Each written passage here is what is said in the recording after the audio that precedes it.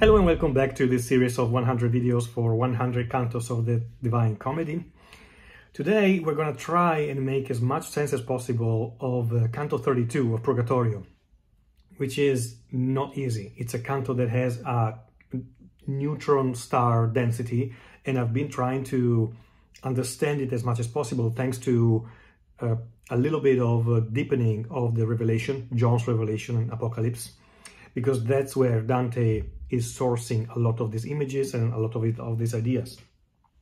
But I think what happens, what can be really be very useful in approaching Canto 32 is to step back for a second because Dante has already thrown at us a lot of these images, this type of style, uh, heavily allegorical and heavily symbolic, uh, uh, was in fact a literal style that had uh, become somewhat popular in the Jewish, in some Jewish communities even before Christ. And, and then it continued a little bit after in the first and second century uh, AD. And in this case, uh, Dante is really rereading and reinterpreting John's Apocalypse that's been, uh, that, that is the last book of the Bible, the, the Christian Bible. The very final book is John's uh, Revelation, Apocalypse and that has been written, according to the scholars, around the end of the first century, so around 80 or 90 AD. So if we step back for a second and uh, look at this uh, incredible series of images that we have in front of us, we are still in Eden, in the Garden of Eden, and uh, all this procession full of elements has been organized for Dante's benefit, so that Dante can see it, this is the purpose of this procession uh, by the divine will.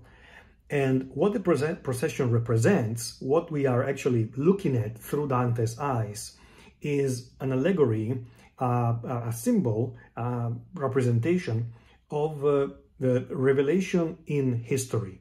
Or basically, uh, an interpretation of uh, history as moved and as guided by the divine providence and ultimately by God. So what Dante has done, he's gone from the macro view of universal history to his own micro history, his personal history with Beatrice. And now in Canto 32, he's going back to the macroscopic view and the universal one, because the relationship, the meeting with Beatrice has finally happened. The narration starts again at the beginning of Canto 32 with uh, this moment that is so crucial of uh, Dante's eyes finally meeting with Beatrice's eyes. Now here, we begin this canto with Dante who is lost in the biggest beauty, in the highest beauty that he could imagine, which is uh, Beatrice's face. Uh, and the last time that uh, he saw it, he saw her face was, as most people think, in 1290 uh, when, when she died and we are here in 1300. He starts by saying in Italian, Tant'eran gli occhi miei fissi e attenti, fissi e attenti, my eyes were fixed and also very attentive. A disbramarsi la decenne sete, decenne means uh, coming from a decade, of thirst, his eyes, che gli altri sensi m'eran tutti spenti, ed essi quinci e quindi avien parete di non caler Così lo santo riso a sé traeli con l'antica rete. Lo santo riso is the most beautiful part of, of, of these two tercets because it's the first time that Dante describes for us the holy smile of Beatrice. He's telling us that she is smiling at him with love and, uh, and that reminds him so much the physical beauty of her uh, when she was alive on earth that he cannot turn away. She is uh, capturing his eyes con l'antica rete, with the ancient net, the same net that captured his eyes during the real life. E lo santo riso, the, the holy smile. Riso, in fact, uh, in Italian means laughter, but definitely here Dante means a, a smile, a gentle smile, a holy smile.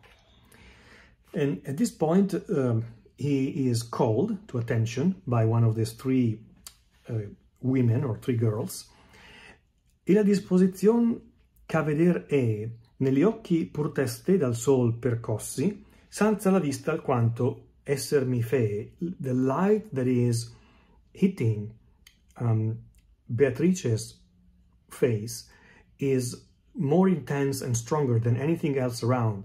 In other words, uh, Beatrice is, is, Beatrice is the only one who is uh, being enlightened by, by the Son of God directly. Uh, everything else is uh, in the in the light of the Garden of Eden. And here we can easily split Canto 32 in two parts, two parts of this uh, second part of the allegory, where in the first part uh, Dante is describing human history uh, pre-Christ, and the second part is describing human history after Christ with some specifications. My personal view of this uh, of this canto, almost from uh, the feelings that it generates in me, is almost like a, a roller coaster. A roller coaster because the first part until maybe verse uh, 105, 106 is slower and it kind of climbs up to a certain level of tension. So it reminds me of this roller coaster ascending, climbing up, climbing up to the peak point.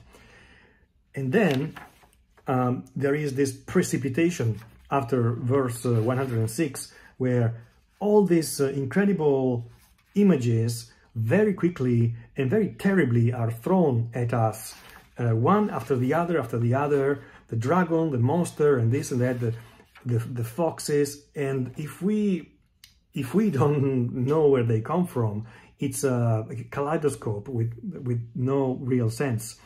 If we really want to understand um, where Dante is coming from and what Dante was reading and studying uh, when he was crafting and creating this Canto 32, and in fact, all these last uh, five cantos of Purgatorio, there is a little bit uh, that we have to research and understand about John's Revelation, the final book of the Bible. Three main points. The first one, the fundamental point of all the apocalyptic literature and uh, of Revelation, but not only this one, but other works of literature that were in the same genre in the centuries before Christ and a couple of centuries after, is that God has a precise structured plan for man's history.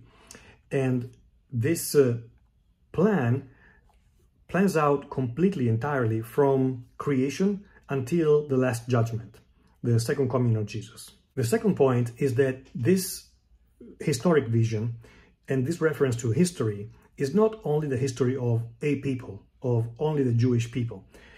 The apocalyptic literature, even if it generated from the Jewish communities, offers us a vision that is total of the global history of man. So it's very universal. Within this universal history, the Jewish people are still the elected people. And finally, number three, Apocalypse is not, Revelation is not exactly like prophecy. A prophecy is more specific.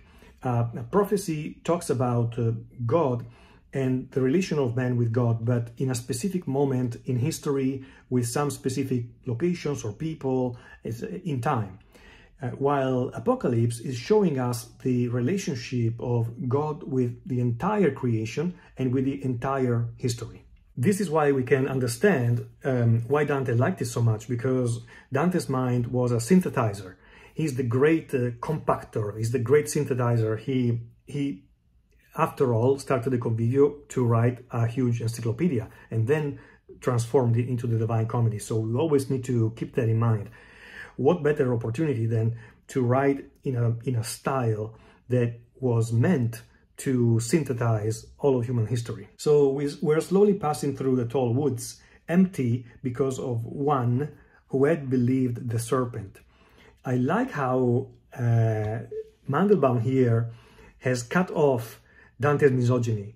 I, it makes me smile because uh, it's the second time in um, only a few cantos that Dante takes a stab at Eve, of Adam and Eve, uh, by saying, oh, it's her fault if, uh, uh, you know, we are in the situation where we are, we cannot live in Eden because of Eve, which we know was a very common stereotype of his time. So we tend to try and forgive Dante for this misogyny However, um, like I briefly mentioned in uh, one of my previous recent uh, videos, I think for Canto 30 or maybe 29, there is uh, something important to be said about uh, Genesis, the scenes um, described in Genesis about the Garden of Eve. Because even if in the Middle Ages, yes, there was this uh, negative stereotype, there was a lot of misogyny that informed uh, the interpretation of the scriptures. In fact, not many ancient books, like the Genesis, teach us that men and women are really equal. There is a, a very strong focus on men and women equality uh, in between the lines of Genesis. At verse uh, 2, 18, Genesis says, I will make him a helper as his partner. This helper word in the original Hebrew is a word that um, I don't know how to pronounce, but maybe uh, my friend Ursula can help me pronounce it.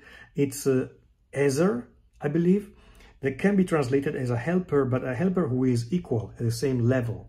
A word that in the scripture is also used to qualify God as Ezer. So Ezer as a helper. So if it's a word, it's, not, it's an adjective that is used to qualify God. It's certainly not used in a negative way to qualify Eve.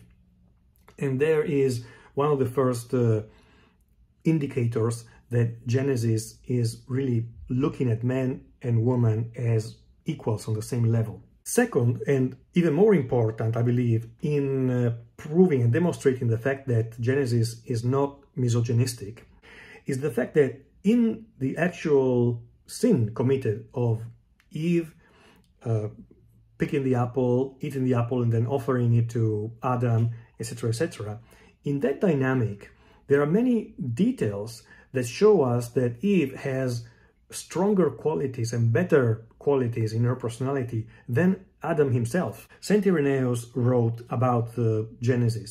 He said, the serpent did not attack Eve based on her weakness, because she was weaker. That's not the reason why he attacked her. She showed that she was the stronger one between her and Adam. She alone stood up to the serpent first of all, because Adam didn't, didn't stand up to anybody. As soon as Eve went to him, he just went straight and ate the apple. Um, she ate only with resistance, with dissent. She didn't do immediately what the serpent was telling her to do. She resisted first and she was dissenting. And, and only after being dealt with in a very perfidious way by the serpent. While on the other hand, Adam ate the apple without any fight or without any word of contradiction. And Dante takes us straight back to these passages of Genesis after verse 34 35 when he uh, talks about uh, Adam and he talks about the tree of knowledge of good and evil. Here it's just incredible how um, he heard some murmurs and these very soft murmurs are saying, Adamo, Adamo, this is the name of Adam whispered, reprimanding, and maybe also as um, regret. So, poi cerchiaro una pianta dispogliata. Pianta is a plant, but really it, it means a tree here. And this is literally the tree of knowledge of good and evil. Una pianta dispogliata di foglie ed altra fronda in ciascun ramo. Dante is very specific, very, very detailed here in telling us that this plant, this tree, has nothing on it. It doesn't have any leaves. It's just uh, uh, dried up because the after the, the, original sin, it was dried up. In fact, I think there was a, a Middle Ages legend about this, and he reports it here. A portion here that I love in Italian is after verse uh, 43, where Dante says, there is a, a, a voice, and the voice says, Beato se, Grifon, che non discendi, col becco desto legno dolce al gusto, poscia che mal si torce il ventre, quindi. Mandelbaum translates, uh, Blessed are you whose beak does not, O griffin, pluck the sweet-tasting fruit that is forbidden, and then afflicts the belly that has eaten. The fruit is uh, not digestible, and uh, blessed are you, griffin, because he is explaining that the griffin symbolizes Jesus Christ, who is without sin, and therefore he never tasted the fruit of sin. Now, here is not very easy because Dante um, has the Griffin talk. Jesus Christ says a sentence at verse uh, 47, and he says, Thus is the seed of every righteous man preserved. This is Mandelbaum translation. In Italian is Si si conserva il seme d'ogni giusto. Now, Mandelbaum does something in his translation that changes the sense uh, that some scholars um, read this, this sentence um, in, which is, so you preserve the, the seed of every other type of justice. This is how many read this sentence. The seed of every type of justice is not the seed of every righteous man, but the seed of every type of justice. It could be human law, it could be any type of legal system or justice that derives as a ramification from divine justice. And I would tend to prefer this type of interpretation, in fact. This is what uh, the sentence that Jesus says means. Another difficult passage is only a few verses later, where Dante says, E quel di lei a lei lasciò legato. We see the chariot uh, approaching the tree, e voltò al temo che gli aveva tirato. The griffin is uh, bringing the chariot very close to the tree, and then he drew it to the foot, and with a branch of that tree, tied the two together. Here, the allegory finds its own uh, completion, because not only the chariot tied to the tree is the church linked to the history or original sin and uh, con contributing to a single narration, but also the church is the presence of Jesus Christ uh, on earth and with the revelation, with the incarnation of God in Jesus, um, at this point, the entire tree, which is visually amazing, visually really beautiful, the entire tree blooms in uh, a spectacle of flowers, of colorful flowers. Mandelbaum says, uh, showing a tint that was less than rose and more than violet literally what uh, Dante says, men che di rose e più che di viole. So we should imagine this as uh, maybe purple, and this is what I've read many scholars say. The color purple is the color of these flowers that also has a very strong symbolic, Christian symbolic um, meaning, which is the blood of Christ. Through the sacrifice of Christ, the tree of knowledge has regained life and comes back to life. Right after this, Dante decides to use one of his uh, favorite literally strategies or tricks, we can say, which is to fall asleep. He falls asleep if he hears a beautiful music, beautiful singing, but uh, he is uh, really almost fainting and falling asleep. This allows him for a transition to the a gradual transition to the second part of this canto.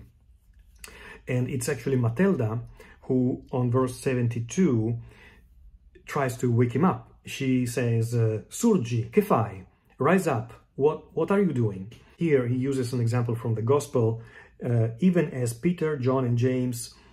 This example is uh, the so-called scene of the transfiguration of Jesus, where he uh, called uh, um, three of his apostles, Peter, John, and James, asked them to follow him on Mount Tabor to see um, what the transfiguration was an anticipation of the glory of Christ, and therefore he showed himself uh, in his divine nature, uh, resplendent light, all white, different type of uh, white clothes, etc., uh, until they also fell asleep, and then as soon as they woke up again, they saw him dressed normally, regularly, like he was before.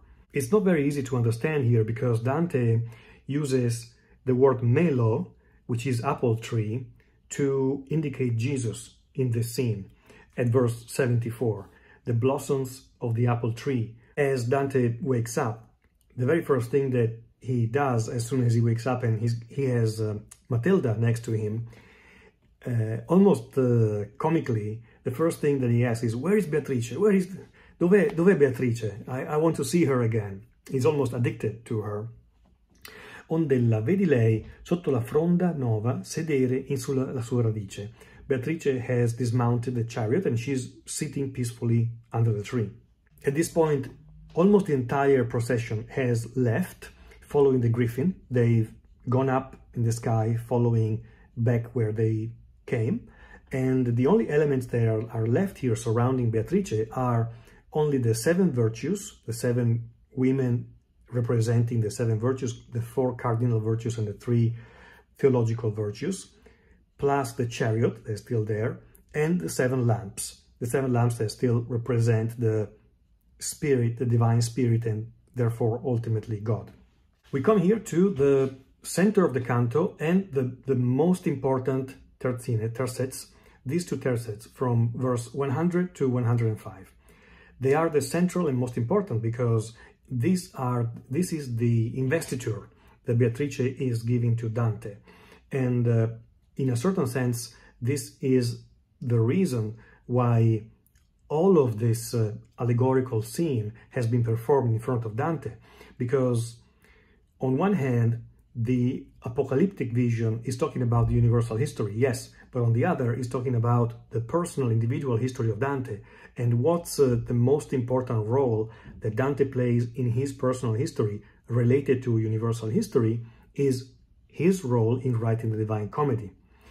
As not only a simple man, but an actual prophet, as somebody who's been dictated the words of the Divine Comedy by God. Beatrice, for the first time in the comedy here, is uh, making this official for us. And she's saying, here you shall be a while a visitor in your pilgrimage, but you shall be with me in the future in your eternal life, and without end, Rome's citizen, the Rome in which Christ is Roman, in Paradiso, in heaven.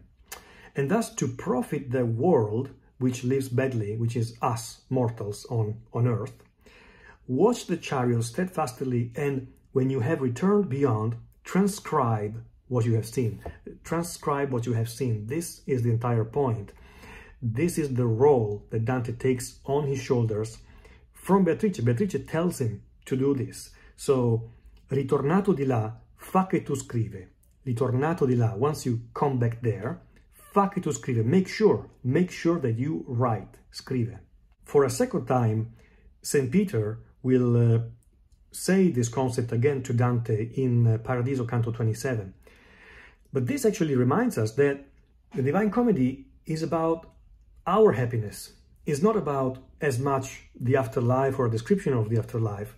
The Divine Comedy is what Dante was saying to Can Grande in his famous letter to Can Grande, where he said the goal, the main goal of this work is to free men, human beings, in this life um, of their state of unhappiness and to guide them to a state of happiness. This is fundamental because there are, there are so many things and elements in the Divine Comedy. Sometimes we lose sight of what the main goal was. The, the, the main goal and the main thing that really Dante is talking about, even sometimes uh, I would say, if you look at it from a non-religious point of view, from a non-Christian point of view, even more universal than religion is human happiness. Here we have reached the peak, the top of the roller coaster, and uh, from now on going to be very very fast and uh, incredibly full of images.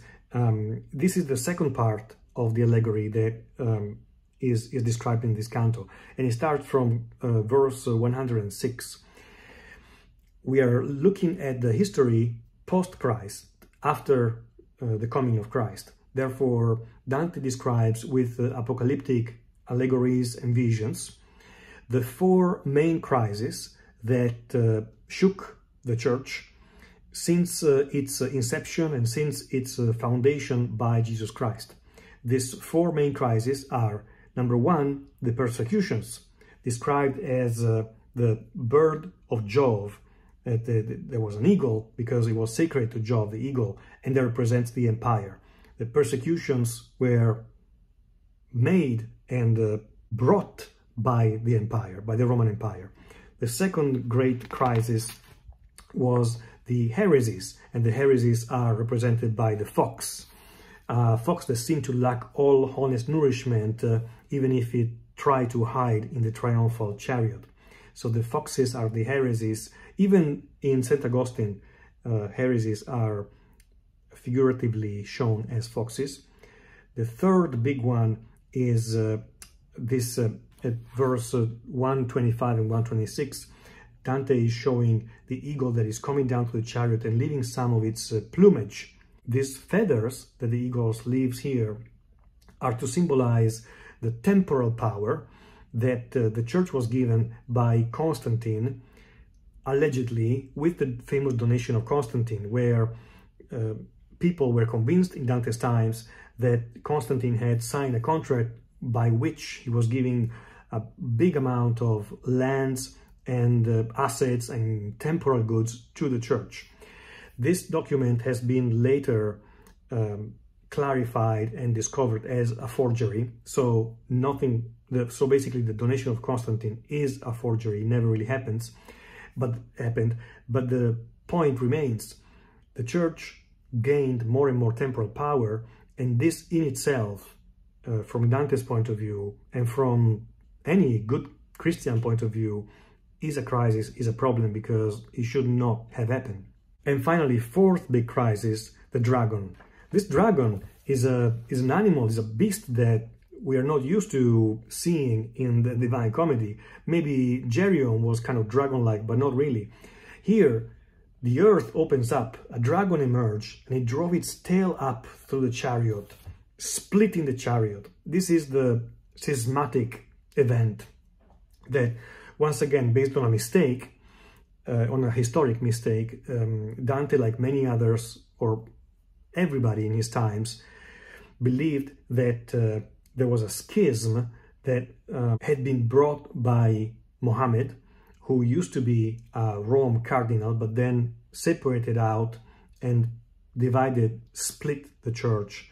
Uh, in, in this type of schism was wanted by Satan. The type of image of the dragon is also present in the Apocalypse and uh, is, is, is basically Satan personified.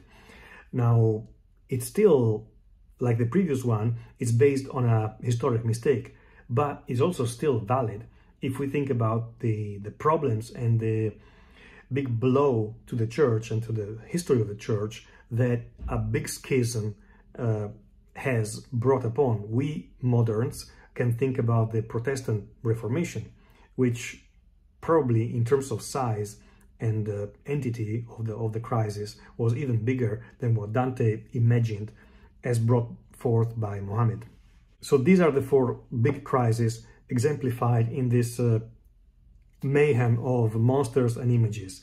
Finally, we get to the strongest image that closes the entire canto, which is the puttana. He says, uh, uh, sicura, quasi rocca in alto monte, seder sovresso una puttana sciolta. First of all, puttana in Italian, modern Italian, is a really bad word. It's a a swear word that you should never use in, in, in good company. Uh, so it's, it's a very stark and strong word that we are almost surprised to find at this level of the Divine Comedy in Canto 32 of Purgatorium. In uh, John's Apocalypse, in fact, there is a prostitute as well. So Dante is simply sourcing and re-elaborating what he's been studying and reading in the Apocalypse. In John, the this prostitute is representing imperial Rome. Here in Dante, the prostitute is actually representing the church. That is uh, amoreggiante, he says, uh, e basciavansi insieme. She is together with a giant and they are almost making love, they're kissing each other. This giant is the French uh, dynasty, the French king, and uh, all the political alliances and tricks uh, and dirty maneuvers that the church, or at least some parts of the church, and the Pope for sure, were doing in accord with the French king. this prostitute then looks at Dante straight in his eyes, and it's not very clear what this actually means. Um, many scholars disagree on what this means. The ferocious paramour beat her from head to foot. This, the majority of people think it's referring to the Anagni episode where the Pope had been uh, uh, even physically assaulted. And uh, the following line where he says, uh, he untied the chariot-made monster, dragging it into the wood so that I could not see this. Untying it and dragging it out of the wood is uh, a representation of the move of the papacy from Rome to Avignon. This transfer, let's say physical transfer, that happened um, as uh, another problem on top of all the other problems. So it gets really dense, really difficult and uh, elaborate as even as an allegory. But uh, I hope that uh, this is at least uh, something that I could try to do to help you and also help myself understand this uh, incredibly mysterious canto that's very much based on, on John's Apocalypse. Thank you again very much for watching and thank you for your support. We'll talk again soon.